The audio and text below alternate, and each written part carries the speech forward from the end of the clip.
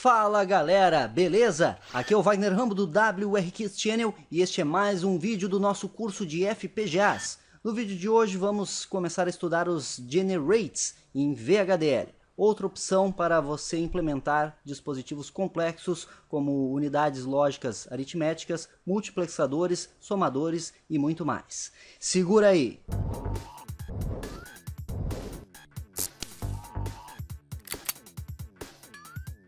Esse curso, se você ainda não sabe, é uma parceria da WR Kits com o Instituto de Tecnologia Emerson Martins, que está oferecendo este kit para você, o kit E02-SOQ, kit de FPGA Ciclone 2 da Altera, já está montado aqui na protoboard, vamos, vamos fazer um teste prático com o projeto de hoje e demonstrar o funcionamento direitinho. Ele acompanha a fonte de alimentação e ainda acompanha o gravador USB Blaster para você gravar diretamente aqui na memória externa os códigos desenvolvidos em VHDL, Verilog e muito mais.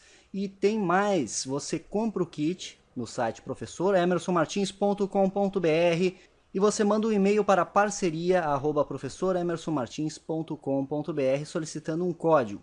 Este código você envia para wrkits@wrkits.com.br e ganha a apostila exclusiva aqui do curso, que tem muitos projetos em VHDL, Verilog e muito mais, que é para você estudar bastante o universo dos FPGAs. Conforme dito na introdução, os Generates nos possibilitam uh, o implemento de circuitos mais complexos e são muito utilizados em laços de repetição da linguagem VHDL.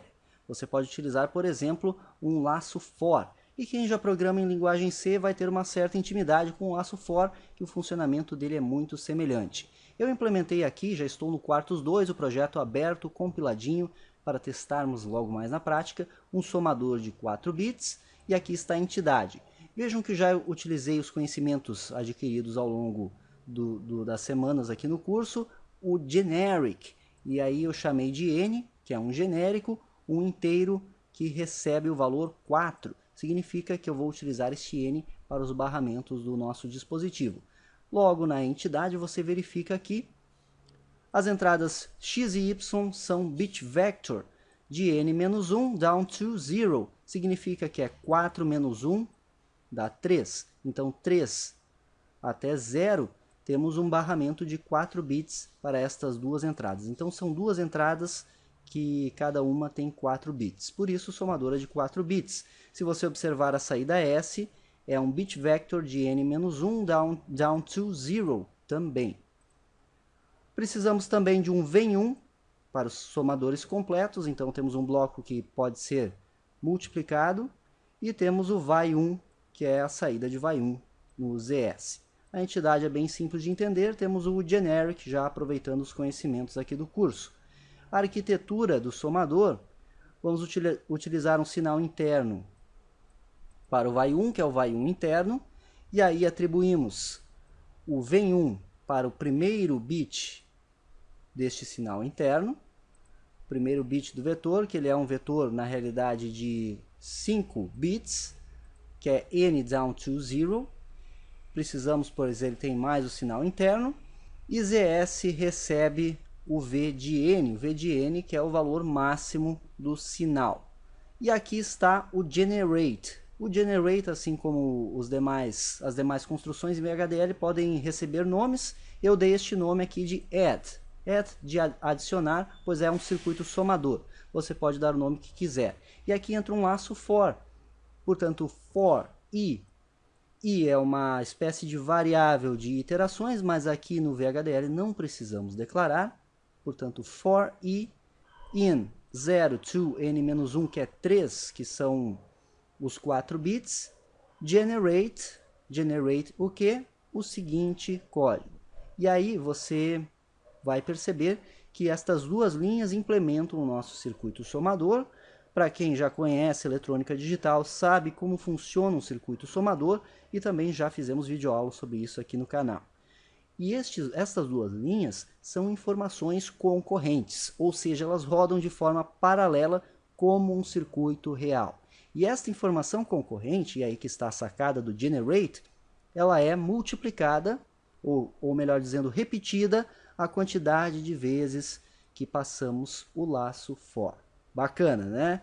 Por isso, implementamos este somador de 4 bits. Vejam que a variável de iterações, que é a replicada, de 0 a 3, portanto são 4, o 0 entra junto na contagem, está aqui como índice de cada um dos elementos dos nossos códigos. E aí, como sempre, end generate add, o nome do generate, e aí end hardware.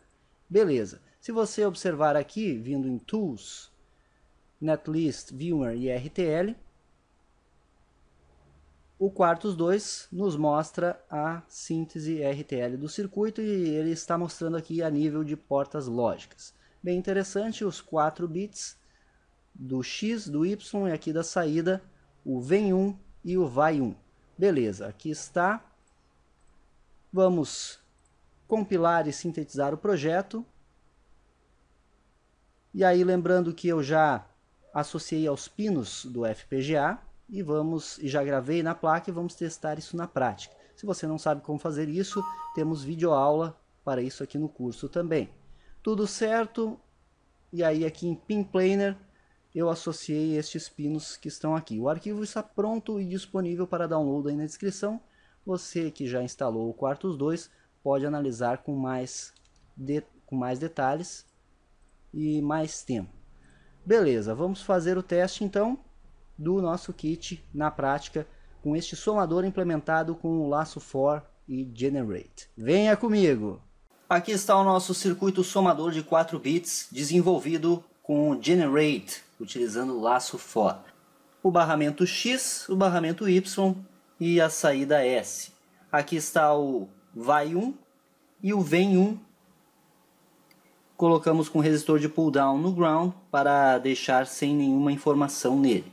Estamos somando 0 mais 0, as chaves estão baixas, então obviamente o resultado é zero, nenhum LED aceso. Se eu somar aqui, por exemplo, 8 mais 0 dá 8. Se eu somar 1 mais 0 dá 1. Se eu somar 2 mais 2 dá 4 você tem que enxergar o resultado em binário, é óbvio. Então, quando as chaves estão para cima é 1, quando estão para baixo é 0, LED aceso é 1, LED apagado é 0. Vamos somar 2 mais 3, por exemplo. 2 mais 3 dá 5. Podemos somar 6 mais 3, que dá 9. Então vejam que está funcionando certinho.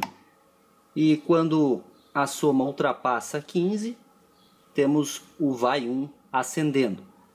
Então, um circuito somador de 4 bits que você pode expandir para quantos bits quiser, aproveitando o uso da generic e também vale lembrar que está funcionando como um circuito convencional, um somador propriamente dito, pois todos os comandos em VHDL e que rodam no FPGA são informações concorrentes ou paralelas. Show de bola, mais um projeto e mais aplicações em VHDL aqui em nosso curso de FPGAs.